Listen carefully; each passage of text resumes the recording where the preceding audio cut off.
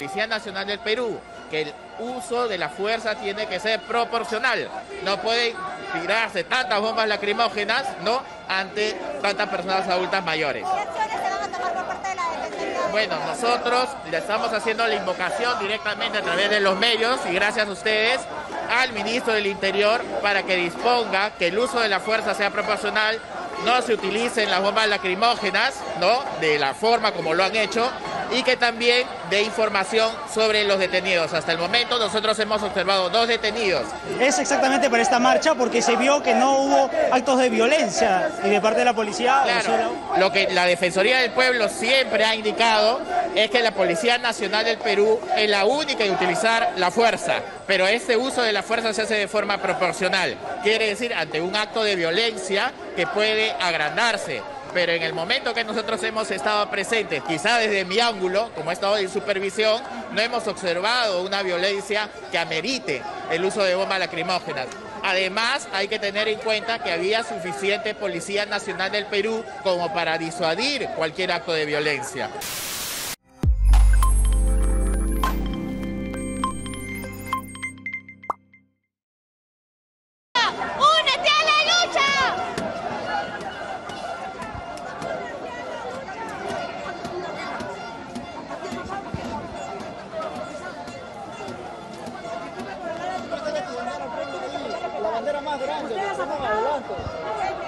La, más grande, solo más adelante. Ya no queremos este gobierno de paso, que nos está matando de hambre.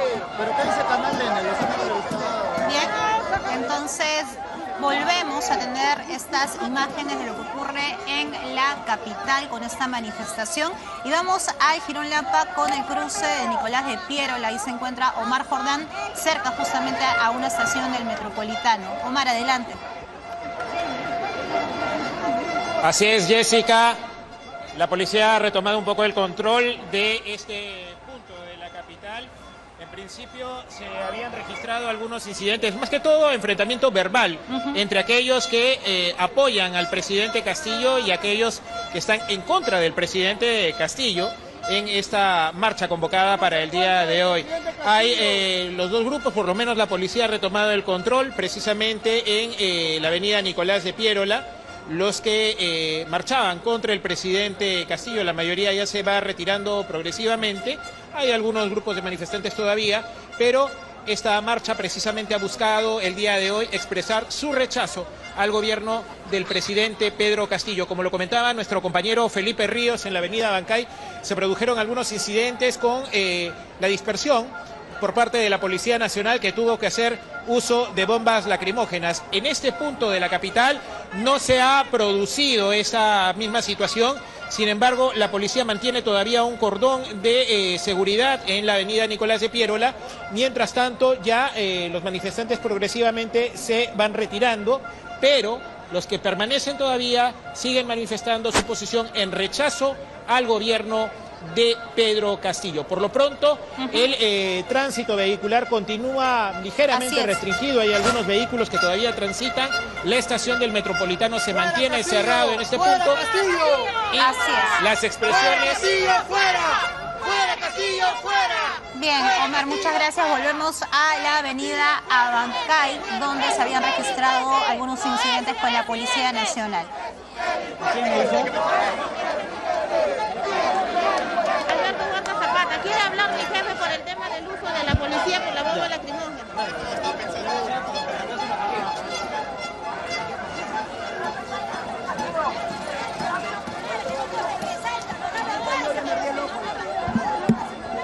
Je- ¿Jefe de qué?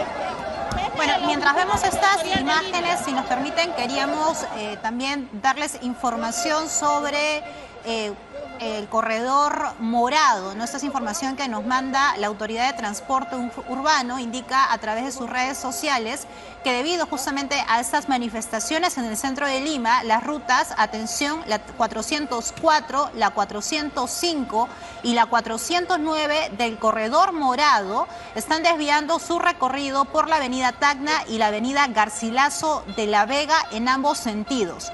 Y la ruta 406 llega hasta Hacho y realiza el giro para regresar a San Juan del Urigancho. Esto obviamente porque la avenida Bancay permanece cerrada, así que a tomar sus precauciones. Esta información está en todas las redes sociales de la ATU para que usted tome precauciones de los desvíos que van a tomar las rutas del corredor morado, básicamente la 404, la 405 y la 409. Entonces cumplimos con brindarles esa información y seguimos con las imágenes en vivo y en directo de lo que ocurre en diferentes puntos, sobre todo en la avenida Bancay.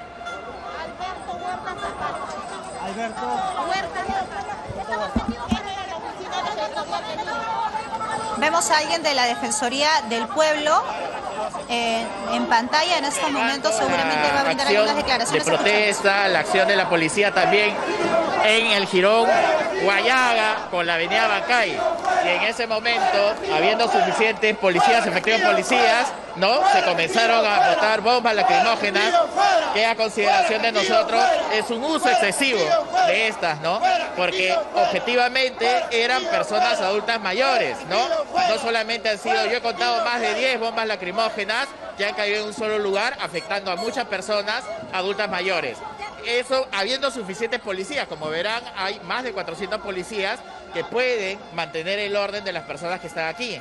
Eso es lo que le invocamos al ministro del Interior, ¿no? A la Policía Nacional del Perú, que el uso de la fuerza tiene que ser proporcional. No pueden tirarse tantas bombas lacrimógenas, ¿no? Ante tantas personas adultas mayores.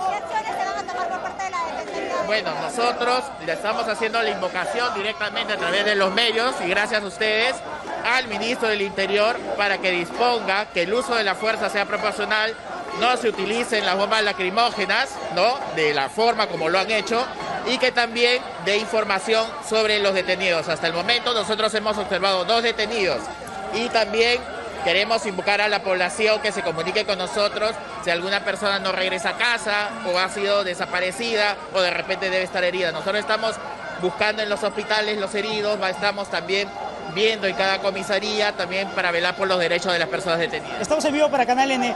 Eh, ¿Cuál es el uso que se debería dar para el- el- las bombas lacrimógenas?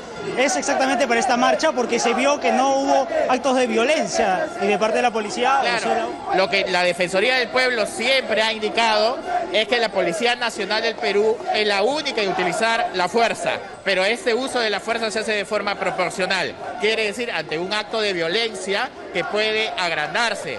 Pero en el momento que nosotros hemos estado presentes, quizá desde mi ángulo, como he estado en supervisión, no hemos observado una violencia que amerite el uso de bombas lacrimógenas. Además, hay que tener en cuenta que había suficiente Policía Nacional del Perú como para disuadir cualquier acto de violencia. La Policía del Perú ha estado ordenada, formada, impidiendo el paso, esa es su labor, está bien, están dentro del marco del orden, pero el excesivo uso de bombas lacrimógenas, sobre todo para personas adultas mayores, puede ocasionar ciertos daños a la salud. Hay que pensarlo muy bien. Parte de invocar al ministro del Interior para que dé una explicación de parte de su, digamos, de la Defensoría de Lima, ¿qué es lo que va a proceder? ¿Un acta tal vez? ¿Un, un escrito informando acerca de lo que ustedes... Claro que sí, nosotros formalmente vamos a hacer nuestras apreciaciones sobre el uso de la fuerza de las bombas lacrimógenas, la cual ha afectado a varias personas adultas mayores. Pero también recordar a toda la autoridad, tanto al director de la Policía Nacional del Perú, tanto al ministro del Interior, que la situación estaba controlada, ¿no? La situación estaba controlada. Yo estaba en el campo, justamente les vuelvo a repetir, estoy en Guayaga, con la avenida Bancay, la situación estaba controlada y bueno, no era el momento de utilizar las bombas lacrimógenas. Había suficiente policía nacional como para controlar la situación. Por eso una invocación. Evalúen bien antes de utilizar las bombas lacrimógenas. La gente comenzó a correr, adultos mayores. Como Defensoría del Pueblo, nosotros hemos estado ayudando a los adultos mayores a recuperarse, a mantener una salida. Quizás alguien puede salir herido o podamos lamentar un hecho fatal. Por favor, evaluemos mejor la situación. Hay suficientes policías en este momento, más de 400 policías que pueden controlar la marcha.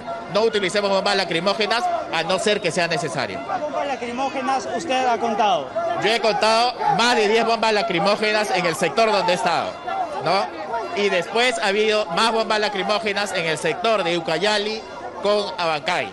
Por eso les pedimos a la Policía Nacional, ellos cumplen con un deber constitucional y legal, pero lo tienen que hacer proporcionalmente. Tendría pedir una reunión con el ministro Interior para que le puedan explicar acerca Eso de... ya nosotros vamos a emitir un comunicado después de evaluar todos estos hechos. También nosotros, vuelvo a repetir, estamos recorriendo todas las comisarías para ver eh, la situación de las personas retenidas. No, no sabemos las circunstancias de su retención, queremos ver qué es lo que ha sucedido y también en los hospitales. Muchas gracias. Muy bien, entonces tenemos las declaraciones de un representante de la Defensoría del Pueblo. Le agradecemos a Diego Chozo quien ha podido tener esta, estas declaraciones y también ellos se han pronunciado a través de sus redes sociales. La Defensoría del Pueblo hace